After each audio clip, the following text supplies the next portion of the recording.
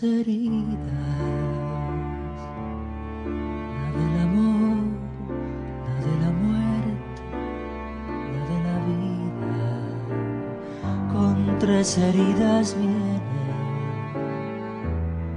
la de la vida, la del amor, la de la muerte. Con tres heridas yo la de la vida, de la muerte, la del amor.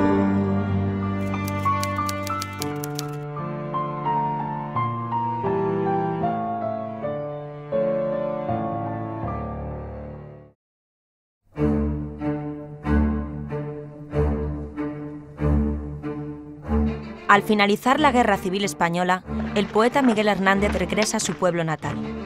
Allí es reconocido por sus paisanos como activista republicano.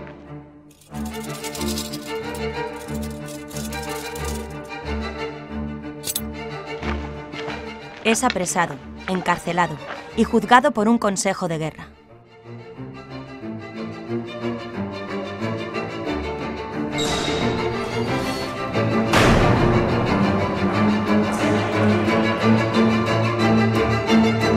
La sentencia, pena de muerte.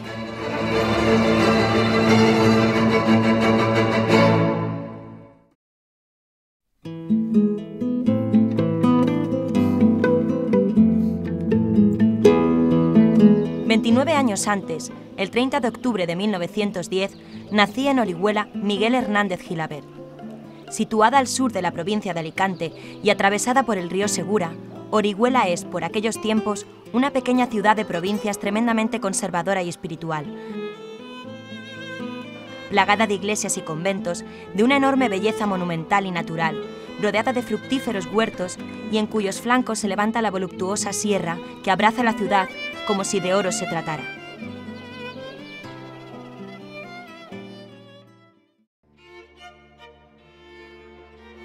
Cuando Miguel viene al mundo, sus padres, don Miguel y doña Concheta, ya tienen dos hijos.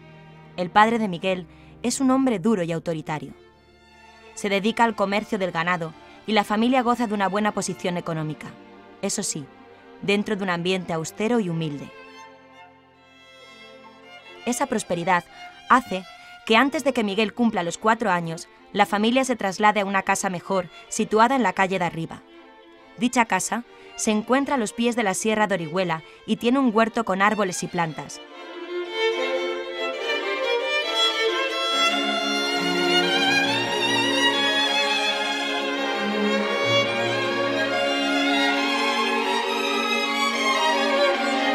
Desde pequeño, Miguel está en continuo contacto con la naturaleza y sus misterios.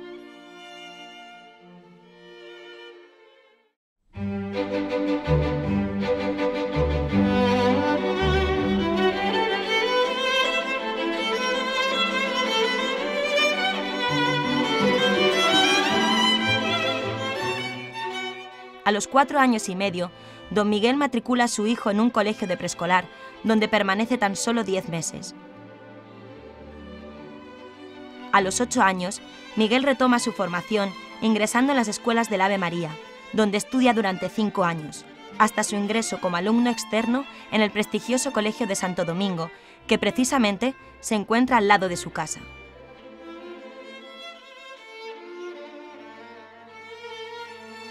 Desde ese momento, Miguel comienza a destacar por encima de sus compañeros y gracias a su enorme rendimiento, los padres jesuitas deciden subvencionar la continuación de sus estudios en el colegio.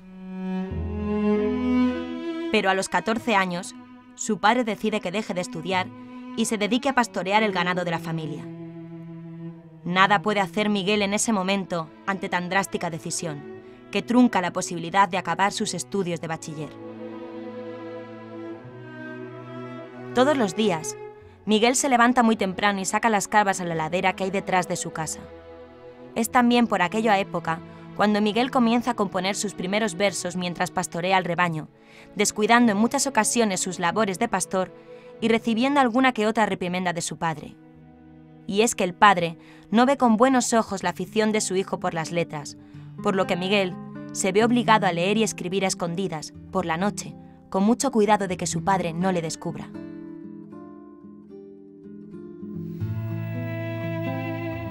Me reclino en los hierros del alarbe ventano, con los ojos perdidos en un astro lejano y el oído despierto para todo rumor. Esta noche de otoño que de mayo parece, de dulzura me parte, de ansiedad me estremece, de poesía me ahoga y me mata de amor. La formación de Miguel continúa de manera autodidacta gracias al acceso de diferentes bibliotecas, entre ellas la de Luis Almarcha, canónigo de la Catedral de Orihuela, quien le descubre a Miguel autores imprescindibles, y también al contacto con un grupo de jóvenes que formarán la Tertulia de la Taona, por la panadería de uno de ellos, Carlos Fenol, un chico con un considerable talento para escribir, quien introduce a Miguel en los ambientes cultos de Orihuela y le ayuda a publicar sus primeros versos en revistas de la comarca.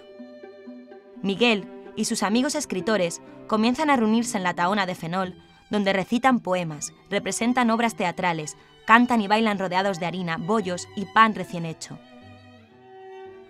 Y es en esos días cuando Miguel conoce al que se va a convertir por aquel entonces en su mejor amigo, José Marín, es decir, Ramón Sigé, que era el seudónimo que utilizaba como escritor.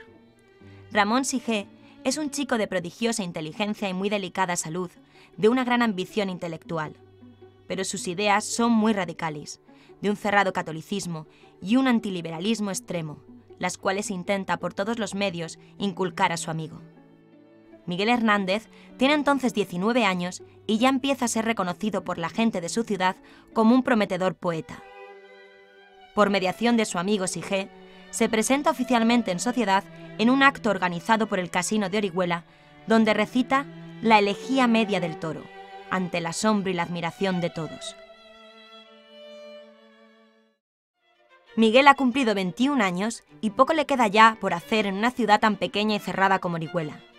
Su objetivo prioritario en esos momentos es trasladarse a Madrid para probar suerte como escritor. Sin tiempo que perder, comienza los preparativos para irse a la capital, hasta que finalmente, la tarde del 30 de noviembre de 1931, con una libreta repleta de poemas bajo el brazo, Miguel emprende su primer viaje a Madrid.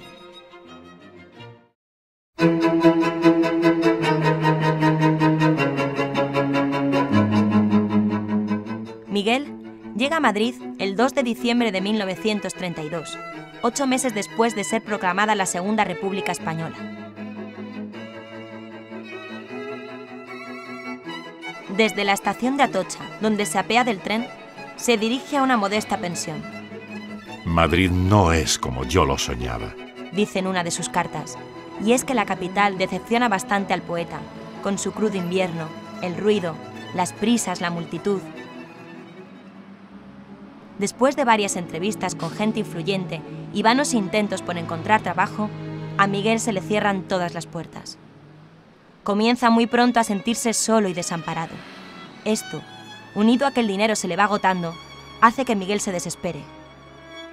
Por fin, aparece publicado un reportaje sobre el poeta en Estampa, una importante revista de la época. Dicho reportaje presenta a Miguel como un pastor poeta. Cuando él quería darse a conocer, cuando quería triunfar en Madrid. ¿Qué pasa? Que, mm, ¿Quién va a hacer caso a un poeta entre mil? A uno entre tantos que van a la corte para que les escuchen. Entonces él se da cuenta de que al principio, en una de las primeras entrevistas que le hacen, eh, aparece explotado la imagen pintoresca del poeta Cabrero. ¿no? Y Miguel dice, bueno, pues si me hacen caso por esta curiosidad, yo voy a llevarla a cabo, a mí no me importa, con tal de que me hagan caso, con tal de que me publiquen mis poemas y con tal de que yo triunfe, que es lo que quiero. ¿no? Y él mismo explota, cuando se da cuenta de que eso hace gracia, eh, empieza a explotar lo de la, esa vertiente de poeta cabrero, de poeta pastor, que le viene, que le viene bien, ¿no? Pero bueno, no es que le gustara especialmente, sino que le venía muy bien en aquel momento. Pero Miguel no consigue encontrar trabajo o una beca con la que subsistir, con lo que su situación se agrava enormemente, llegando incluso al límite de vivir como un indigente, pasando hambre, y viéndose obligado a dormir en el metro. Tras cinco meses de frustrados intentos en la capital, agobiado y decepcionado, Miguel se ve obligado a volver a Orihuela.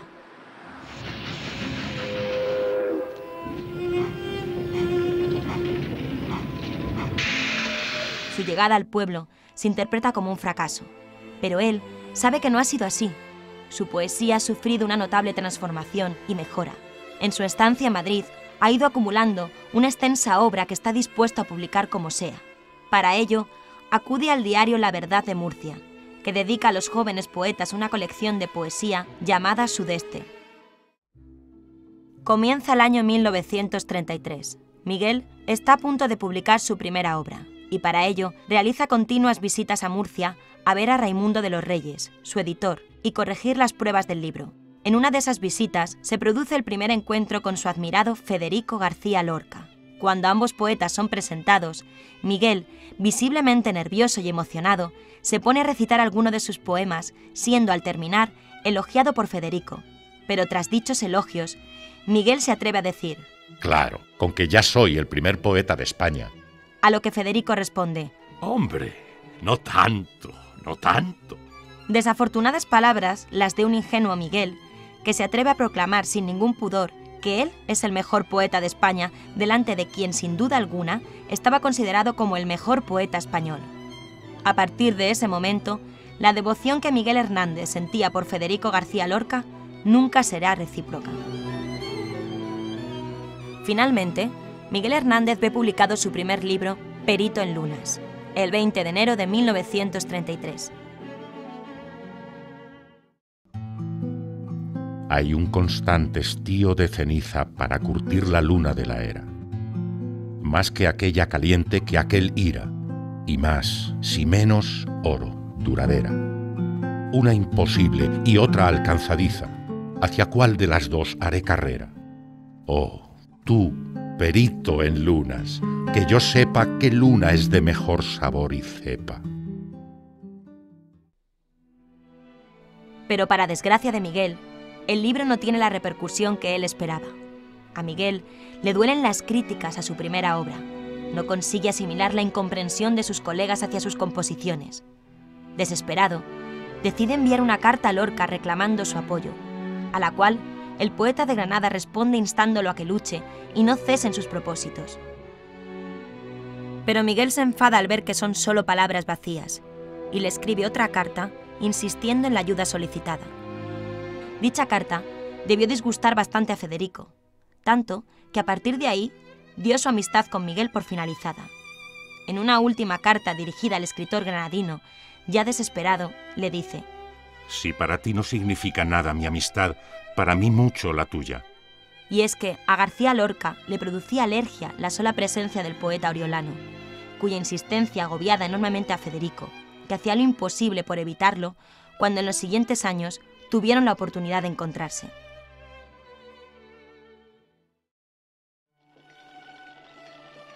Como todo poeta que se precie, Miguel también experimentaba sus primeros desengaños amorosos.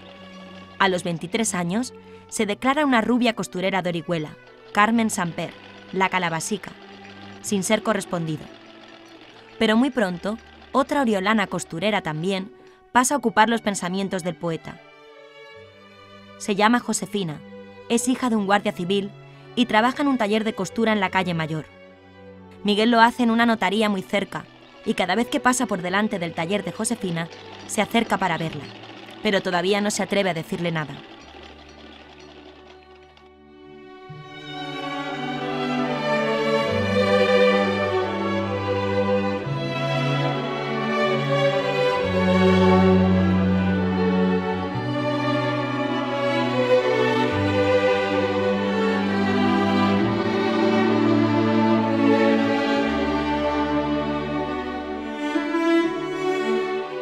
Hacia febrero de 1934, Miguel planea su segundo viaje a Madrid. Sus amigos le organizan un homenaje de despedida con el fin de recaudar fondos para su subsistencia en la capital. Con un libro de poemas ya publicado y un cierto prestigio como poeta en su tierra, Miguel sabe que este segundo intento será muy diferente al primero. Decidido y esperanzado, a mediados del mes de marzo, Miguel emprende su segundo viaje a Madrid.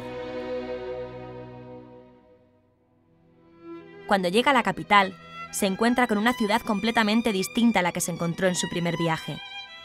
Madrid ha sufrido una transformación ideológica radical. Una profunda crisis asola la Segunda República, gobernada en estos momentos por las derechas, que han paralizado todas las reformas iniciadas en el anterior bienio dirigido por los republicanos de izquierda y los socialistas.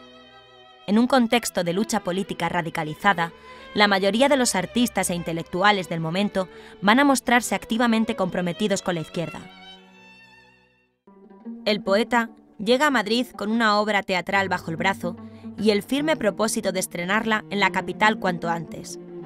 Se trata de un auto sacramental, de signo católico y moralizante, pero que no parece encajar en el panorama literario del momento. Dicha obra aparece publicada unos meses después en la revista católica Cruz y Raya, circunstancia que al menos le abre a Miguel las puertas de los círculos intelectuales de la capital.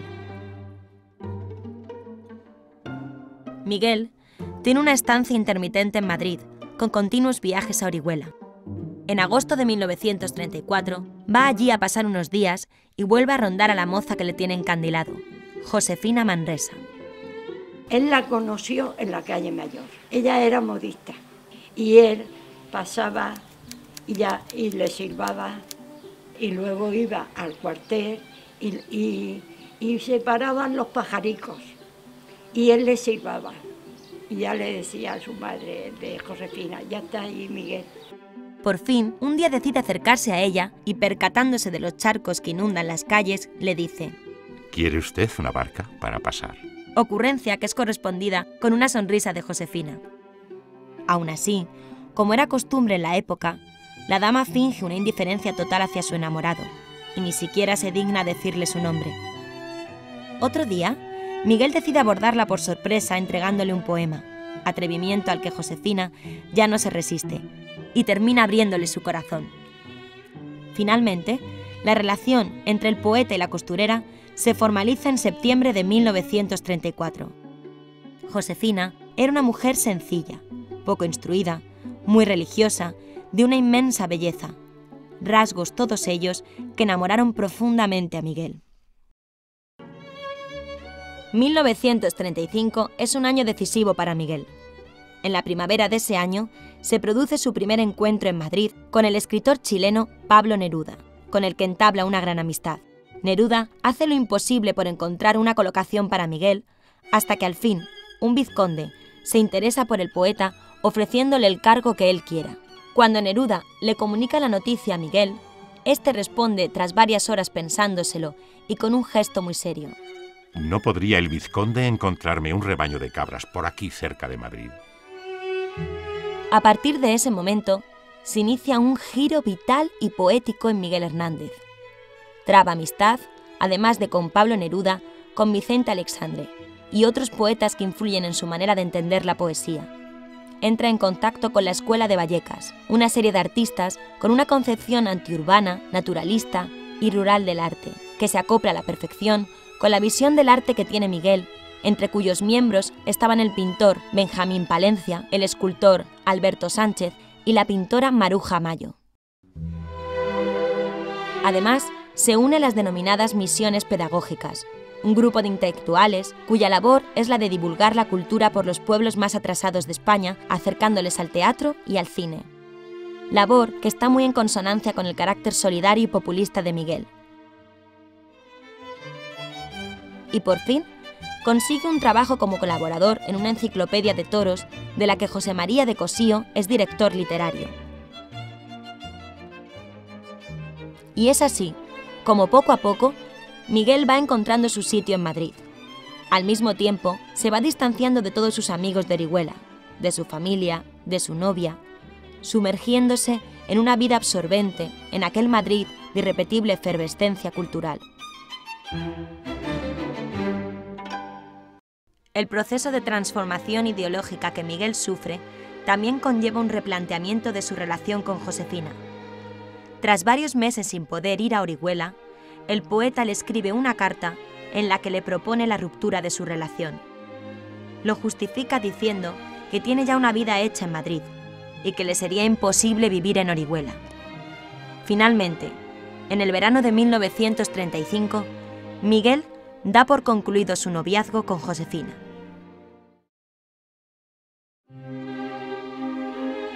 Pero en la ruptura de Miguel y Josefina hubo otro motivo más, la relación que por aquellos meses mantuvo el poeta con la pintora gallega Maruja Mayo.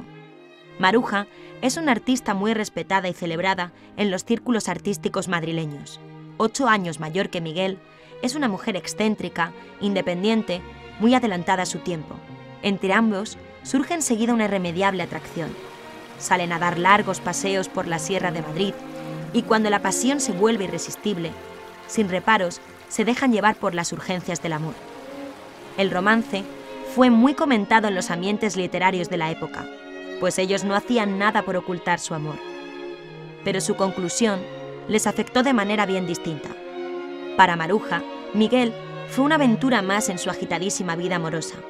Para Miguel, Maruja supuso la culminación sexual de la pasión amorosa, aunque pronto descubrió con amargura que se trataba de una relación sin futuro. No cesará este rayo que me habita el corazón de exasperadas fieras y de fraguas coléricas y herreras donde el metal más fresco se marchita. No cesará esta terca estalactita de cultivar sus duras cabelleras como espadas y rígidas hogueras hacia mi corazón que muge y grita. Este rayo ni cesa ni se agota, de mí mismo tomó su procedencia y ejercita en mí mismo sus furores. En el verano de 1935, Miguel contacta con un grupo de intelectuales murcianos, Carmen Conde y Antonio Oliver, y los hermanos Carlos y María Cegarra, poetas de la Unión. Con esta última, Miguel traba una bonita amistad y la anima a irse con él a Madrid, pero María nunca tendrá el valor de dejar su pueblo y probar suerte en la capital. A principios de 1936 aparece publicada la que con el tiempo será considerada como la mejor obra poética de Miguel Hernández, El rayo que no cesa, un libro que es fruto de una gran crisis sentimental del poeta y cuyos textos están inspirados en las mujeres que hasta el momento han ocupado su corazón, Josefina, Maruja y María, sin contar el último de los poemas del libro, dedicado a su gran amigo Ramón Sige.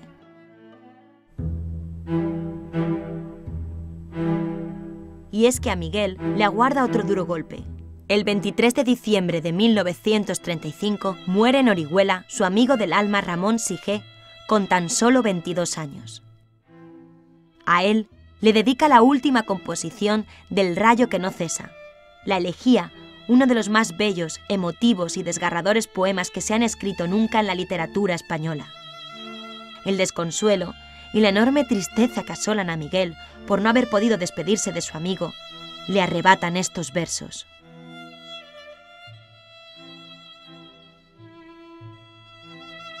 Yo quiero ser llorando el hortelano de la tierra que ocupas y estercolas, compañero del alma, tan temprano. Alimentando lluvias, caracolas y órganos, mi dolor sin instrumento a las desalentadas amapolas, daré tu corazón por alimento. Tanto dolor se agrupa en mi costado que por doler me duele hasta el aliento. A las aladas almas de las rosas del almendro de nata te requiero, que tenemos que hablar de muchas cosas, compañero del alma, compañero.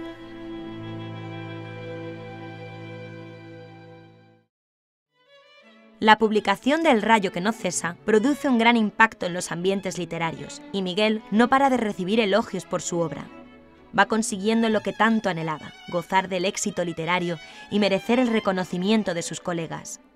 Cuando Miguel llega a Madrid y quiere alcanzar a la generación del 27, que eran los grandes poetas del momento, él llega tarde a la estación, pero le da tiempo a correr y coger el último vagón.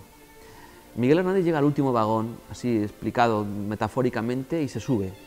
Alcanza ese tren de la modernidad y de la generación del 27, que siempre se ha dicho que fue la, edad de plata de la literatura española y la edad en la que la literatura española se pone al mejor nivel. Pero hay algo que le provoca una profunda insatisfacción. A Miguel no le gusta vivir en Madrid y sufre continuos desengaños con personas a las que creían sus amigos. No soporta la hipocresía y la mediocridad del mundo en el que se mueve. Un día que pasea meditabundo a orillas del Jarama, a Miguel le sucede algo profético. Una pareja de la Guardia Civil le detiene por no llevar su cédula de identidad. es interrogado y con naturalidad confiesa ser escritor. Pero los guardias no le creen. Sospechando que se trata de un malhechor, le abofetean y propinan una serie de golpes. Cuando por fin le sueltan, acude lleno de rabia a ver a Rafael Alberti y le comunica su deseo de afiliarse al Partido Comunista, al que ya pertenece el poeta gaditano. Miguel no puede soportar las injusticias y ese día lo ve todo más claro. Después de tantos avatares y malas experiencias, Miguel comienza a pensar en regresar al redil, a su orihuela querida y a los brazos de su antigua amada. Reanuda, por tanto, con insistencia, su correspondencia epistolar con Josefina Manresa. Le muestra sinceramente su arrepentimiento y consigue volver a ganarse su confianza y amor. En una de esas incontables cartas, Miguel le dice, No te niego que he conocido a otras mujeres, pero he visto la diferencia enorme que hay entre tú y ellas, y te prefiero a ti sobre todas. Tú vales más que ninguna, eres sencilla, buena y honrada, y tienes todo lo que yo puedo y quiero exigir a una mujer. Con el tiempo, las diferencias de alma que hay entre nosotros dos se ajustarán y nos comprenderemos todo lo que pasa entre nosotros y todo lo que somos. El ambiente en Madrid a comienzos de 1936 es de absoluta crispación debido a la creciente radicalización de la vida política. Los dos años de gobierno de la derecha han sido un auténtico desastre y los resultados de las elecciones de febrero dan la victoria al Frente Popular, constituido por una coalición de izquierdas que derrota a la coalición de los grupos de derechas lideradas por Gil Robles y Calvo Sotelo. Manuel Azaña es nombrado presidente de la República en un ambiente social cada vez más tenso, los partidos de derechas, que no se resignan a su suerte, adoptan una posición cada vez más radical y fascista que busca de forma evidente el fin del sistema democrático.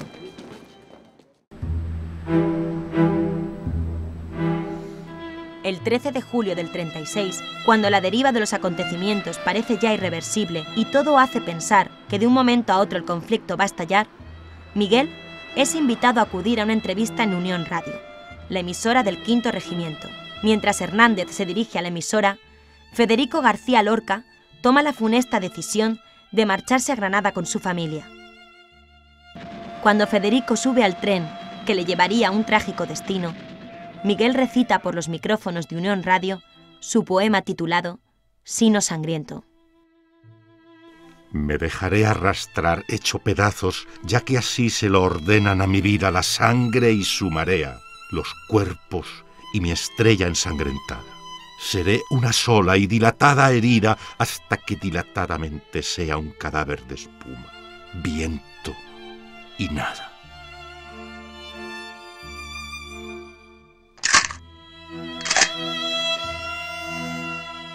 Un mes después, en agosto de 1936, Federico García Lorca era fusilado en Granada.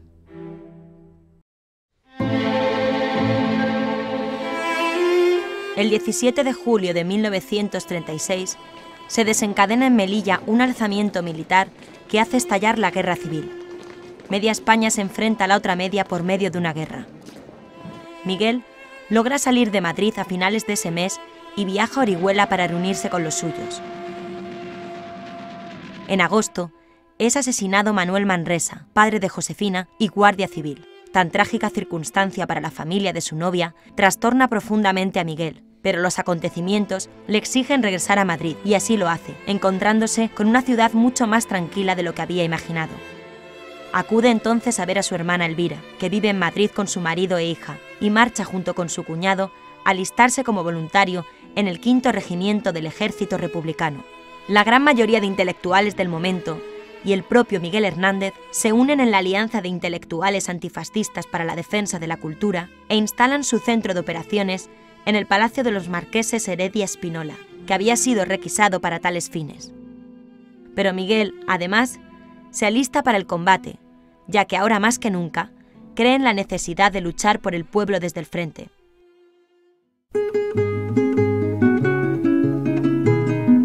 Su actividad como miliciano comienza muy pronto, casi sin preparación de ningún tipo. Con el quinto, quinto, quinto, con el quinto recibiendo Madre, yo me voy al frente para las líneas de fuego. Madre, yo me voy al frente para las líneas de fuego. Anda, jaleo. Sin embargo, un par de meses después, Miguel es reclamado para otros cometidos más acordes con la figura de un poeta, que en esos momentos resulta más útil para las tareas propagandísticas y culturales del ejército de la República. Y así es como Miguel Hernández pasa a formar parte de la décima brigada, dedicada a tareas culturales, conocida popularmente como el Batallón del Talento, a las órdenes del periodista cubano Pablo de la Torriente.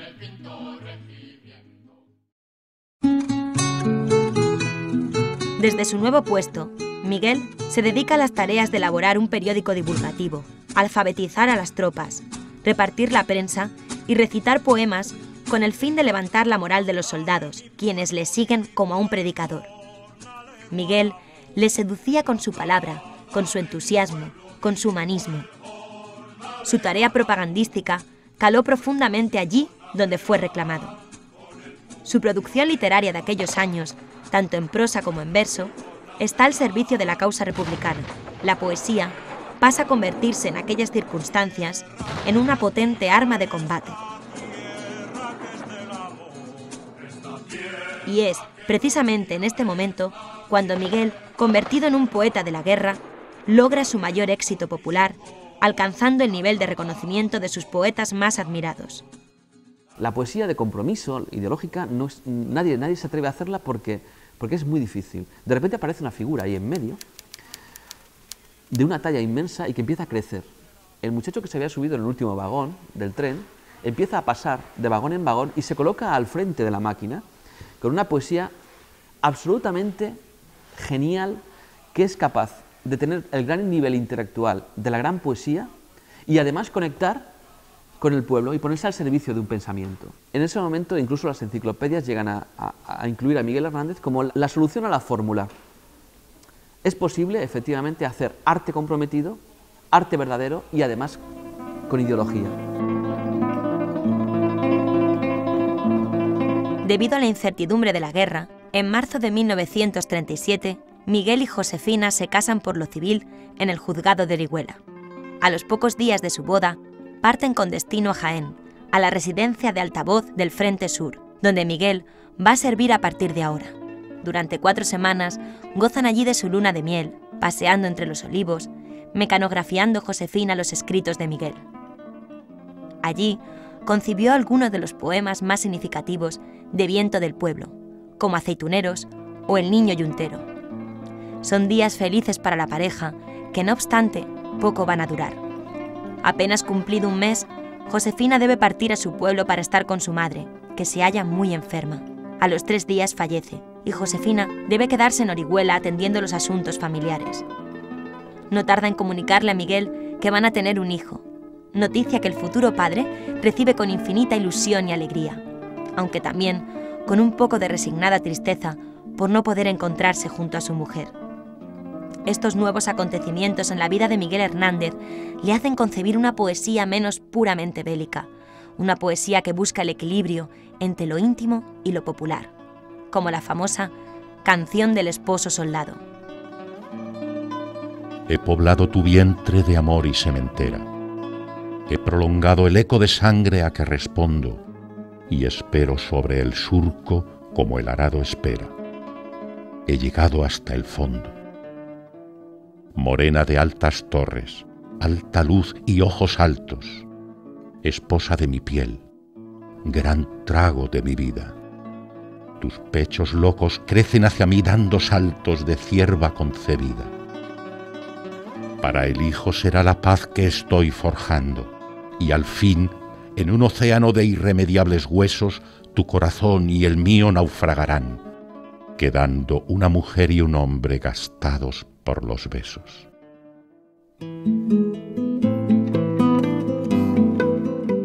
A comienzos del verano de 1937 se publica Viento del Pueblo, la obra que contiene los poemas que Miguel ha ido forjando en este tiempo de guerra, ilustrado con una serie de fotografías de la época en la dedicatoria a su gran amigo Vicente Alexandre, expresa toda una declaración de intenciones.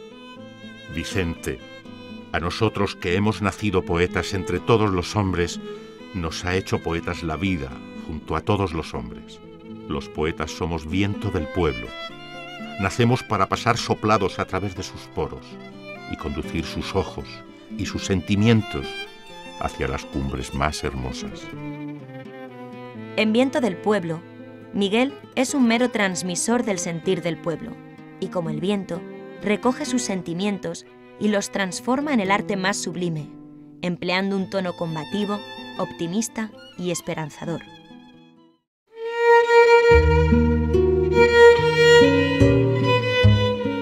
En agosto de 1937, a Miguel le seleccionan para formar parte de la delegación española que asistiría al quinto Festival de Teatro Soviético de Moscú.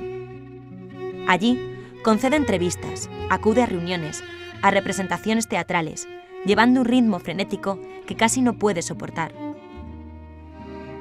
A su vuelta, de paso por Londres y París, se da cuenta de lo poco que importaba en Europa la terrible contienda que asolaba España. Miguel regresó de aquel viaje notablemente transformado, agotado, mucho más introvertido y retraído de lo habitual, y con la salud bastante desmejorada. Decide entonces tomarse un bien merecido descanso y pasar algún tiempo más con Josefina, que ya se encuentra en avanzado estado de gestación. Aún así, en diciembre de 1937 se reincorpora al frente en Teruel.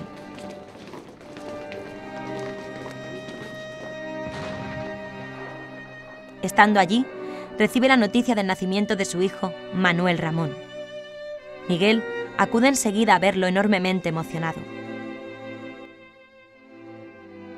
Varios acontecimientos de la vida del poeta, como su viaje a Rusia y el nacimiento de su primer hijo, provocan un cambio bastante acusado en la motivación y en la obra de Miguel Hernández. A finales de 1938, la guerra ya se da por perdida y marchito el entusiasmo revolucionario, Miguel, decepcionado y cansado de una guerra sin sentido, se vuelve a encerrar en sí mismo, todo lo cual dará lugar al que será su siguiente libro de poemas, El hombre acecha. Mientras tanto, su salud va resintiéndose cada vez más. Miguel está agotado, tanto que para recuperarse ingresa en un hospital de reposo en Benicassim. Dando un día un paseo por la playa, Miguel escribe en la arena, Concha, Josefina, Manolillo. Uno de los enfermos que está allí ve esos nombres y le pregunta quiénes son, a lo que Miguel responde con cierta melancolía. Mi madre, mi mujer, mi hijo.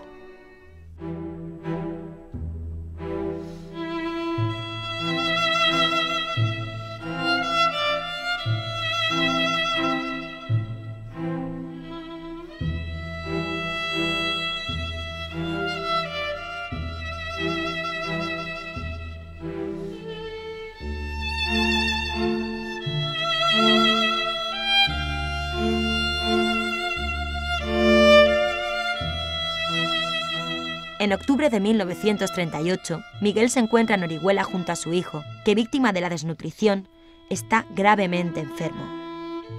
Al poco tiempo, muere, con tan solo 10 meses de edad, sufriendo Miguel el golpe más duro de su vida.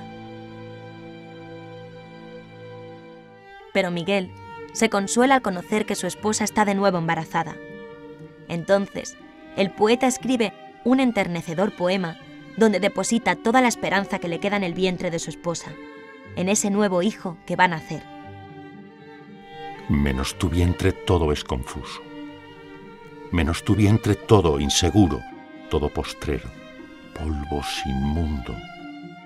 Menos tu vientre todo es oscuro, menos tu vientre, claro y profundo. A principios de 1939, Josefina da luz a su segundo hijo, Manuel Miguel.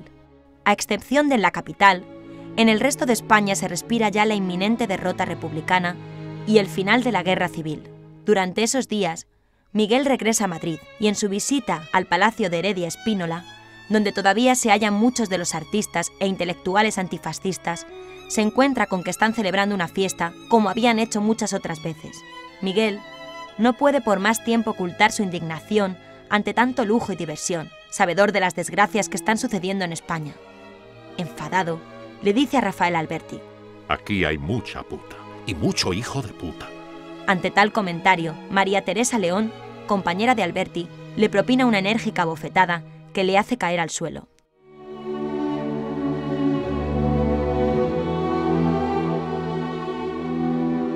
La guerra civil tuvo un efecto devastador sobre el grupo de escritores y artistas que se había fraguado durante los años de la República, la generación del 27, truncando su excepcional proyección de futuro.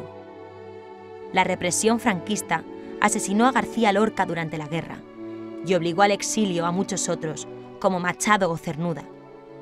La mayoría de intelectuales y artistas permanecieron leales a la República. Algunos apoyaron el levantamiento militar. La generación más joven, la del 36, se vio literalmente arrojada a la guerra. Entre ellos estaba Miguel Hernández. Tristes guerras, si no es amor la empresa. Tristes guerras, no es amor la empresa. Tristes, tristes. Si no es amor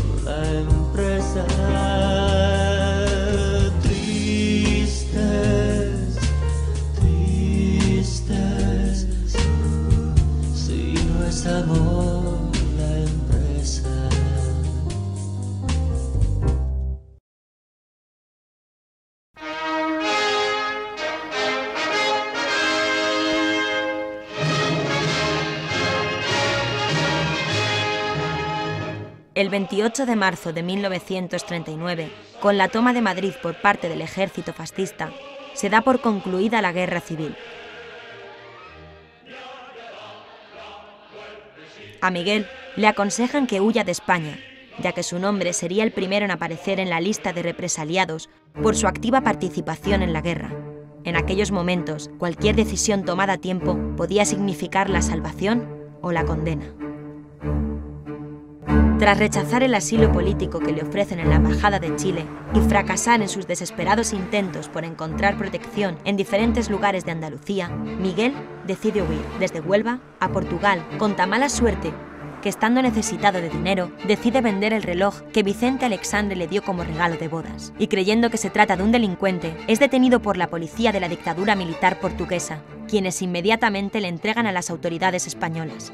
Miguel es reconocido enseguida como un activista republicano. Lo encierran durante cinco días y padece un auténtico calvario. Interrogado durante diez interminables horas, es duramente apaleado y torturado hasta orinar sangre.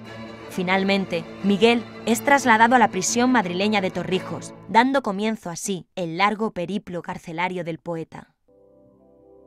En la cárcel de Torrijos, Hernández escribe una poesía a su hijo, unas coplillas, como él las llamó, y a las que casi no da importancia cuando se las envía a Josefina en una carta, pero que años después iban a convertirse en uno de los poemas más hermosos de la literatura española. Cebolla es escarcha cerrada y pobre, escarcha de tus días y de mis noches. Hambre y cebolla, hielo negro y escarcha grande y redonda.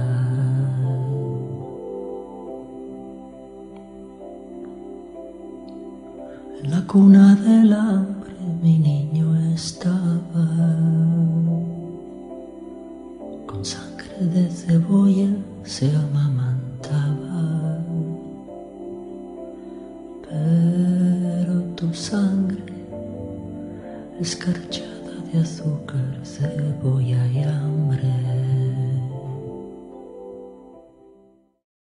A raíz de la muerte de su primer hijo, Hernández había comenzado a redactar un conjunto de poemas que conformarían posteriormente el libro Cancionero y Romancero de Ausencias, que nunca pudo ver publicado. Dicho libro incluye Las nanas de la cebolla y otras muchas composiciones de índole más intimista que las anteriores. Estando encarcelado, se le abre un proceso durante el cual es llamado dos veces a declarar. En sus comparecencias ante el juez militar, Miguel no oculta en ningún momento su participación en la guerra en el bando republicano, ni tampoco sus ideales antifascistas y revolucionarios. Sin embargo, y contra todo pronóstico, sale en libertad el 15 de septiembre. Miguel se marcha entonces a Cox, un pueblo cerca de Orihuela, donde vive Josefina, cometiendo el mismo error que llevó a Lorca años atrás a refugiarse en Granada, el error de confiar inocentemente en sus paisanos, creyendo que entre su gente estaría más seguro. Cuando Miguel vino a Orihuela a ver a Josefina, cuando lo sacaron de la cárcel de Ocaña, y fue cuando un tal, no, no lo dijo, lo denunció a, uno que había en el juzgado que le decían el patagón. Y así, dos semanas más tarde, paseando un día por Orihuela, las autoridades del movimiento le reconocen por la calle, le detienen de inmediato y le trasladan esposado al seminario de Orihuela, en cuyos lúgubres sótanos se había habilitado una cárcel conocida como prisión de San Miguel. Durante su estancia, es sometido a un trato especial de aislamiento, pasando mucha hambre y vejaciones de todo tipo, hasta que se recibe la orden de traslado a la prisión madrileña de Conde de Toreno, donde coincide con otro preso ilustre, Antonio Buero Vallejo, quien le hace un archiconocido retrato para que Miguel se lo envíe a su hijo. A principios de enero de 1940 es requerido por el Consejo de Guerra para que comparezca ante el tribunal. Tras un proceso kafkiano sobre Miguel recae una implacable sentencia de muerte, hasta que finalmente su jefe y amigo, José María de Cosío, realiza las gestiones necesarias para librar al poeta del pelotón de ejecución, consiguiendo que el ministro del Ejército, Sánchez Mazas, se entreviste con Franco, quien al escuchar las argumentaciones de su ministro dijo, Otro García Lorca no.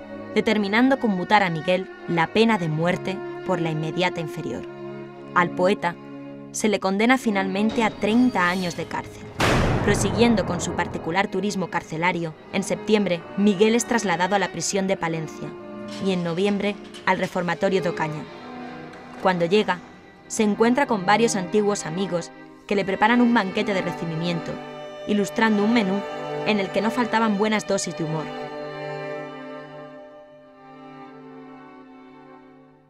En los últimos meses de su estancia en Ocaña, Cosío va a visitarle, ofreciéndole la posibilidad de salir en libertad si Miguel se retracta de sus ideas, proposición que el poeta rechaza rotundamente. Miguel solo tenía que afirmar una voluntad de colaboración con el nuevo régimen para que se le otorgara el indulto, pero tan convencido estaba de sus ideas y sus actos que respondió que él no se vendía como si fuera una puta barata. El poeta libra en aquellos días una lucha interna entre su firmeza ideológica y moral y su deseo de salir de la cárcel y reunirse con los suyos. Harto de estar lejos de su familia, decide pedir el traslado al reformatorio de Alicante, a donde es conducido en junio de 1941. En dicha prisión, Miguel recibe una vez por semana la visita de su mujer y su hijo de dos años. Durante una de esas visitas, a Miguel le dan la oportunidad de poder abrazar a su hijo en el patio de la cárcel. Aquella iba a ser la última vez que Miguel iba a poder abrazarlo. A finales de noviembre de 1941, Miguel ingresa en la enfermería de la prisión víctima de un tifus que se complica después con una tuberculosis pulmonar aguda. En la cárcel no hay apenas medicinas y es su familia la que debe procurarle los medicamentos. Las fiebres no remiten y Miguel está cada vez peor. Los medios de que disponen en la prisión no son suficientes para detener la enfermedad. Dejar morir era otro tipo de condena, más lenta, pero igual de efectiva que la explícita condena a muerte. Miguel se consume en la cárcel. Su antiguo protector, el eclesiástico Luis Almarcha, ha encargado a su padre jesuita del reformatorio que consiga de Miguel la abjuración de sus escritos subversivos y, de paso, la celebración del matrimonio canónico. Pero el poeta, una vez más, vuelve a rechazar su ofrecimiento. A pesar de su ateísmo, Miguel no podía permitir, sin embargo, que su mujer y su hijo quedaran legalmente desasistidos después de su muerte, puesto que el matrimonio civil se consideraba nulo en la nueva legalidad vigente. Por este motivo, y cediendo al chantaje religioso, Miguel y Josefina contraen matrimonio por la Iglesia en una triste ceremonia celebrada en la enfermería de la prisión de Alicante. Por esos días, el estado de Miguel empeora vertiginosamente. Se encuentra postrado en la cama, sin poder comer, sin poder moverse, casi sin poder hablar y a veces delirando. Cuando llega la autorización para que lo saquen al sanatorio, falta la ambulancia que lo traslade y en cualquier caso, ya es demasiado tarde. Finalmente, el 28 de marzo de 1942, a las cinco y media de la mañana, muere Miguel Hernández en la prisión de Alicante a los 32 años de edad.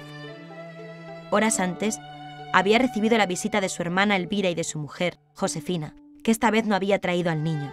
Te lo tenías que haber traído. Le recriminó Miguel a su mujer, con lágrimas en los ojos, roto de pena y de dolor, sabiendo con certeza que le quedaba poco tiempo de vida. Una vez fallecido, el rostro de Miguel permaneció con los ojos abiertos sin que nadie se los pudiera cerrar. Sus compañeros del reformatorio lo amortajaron y prepararon un funeral. Después entregaron el cadáver a su familia, que acudió a enterrarlo al cementerio de Alicante. Cuando el padre de Miguel se enteró de la muerte de su hijo, pronunció estas terribles palabras. Él se lo ha buscado. A Miguel no se le pudieron cerrar los ojos después de muerto debido al hipertiroidismo que padecía. Cerrados o no, se apagaron para siempre, de una manera injusta, terrible, perdiendo España a uno de los más grandes poetas del siglo XX y a un hombre de una extraordinaria calidad humana. Su gran amigo Vicente Alexandre lo retrató de este modo. Era un ser generoso al máximo. Donde hubiera dolor, allí estaba él. Cuando yo he padecido, el rostro que aparecía a mi lado era el de Miguel. El que venía a cuidarme era Miguel. Era confiado y no guardaba daño. Creía en los hombres y esperaba en ellos.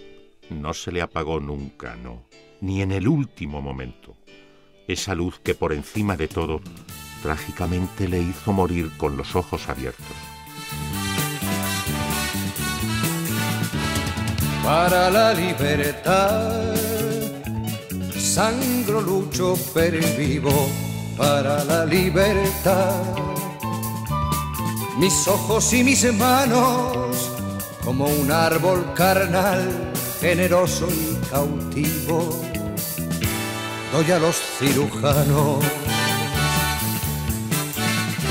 para la libertad. Siento más corazones que arenas en mi pecho. Dan espuma mis venas y entro en los hospitales y entro en los algodones como en las azucenas. Porque donde unas cuencas vacías amanezcan ella pondrá dos piedras de futura mirada y hará que nuevos brazos y nuevas piernas crezcan en la cadeneta alada Retoñarán aladas de savia sin otoño, reliquias de mi cuerpo que pierdo en cada herida. Porque soy como el árbol talado que retoño, aún tengo la vida, aún tengo la vida.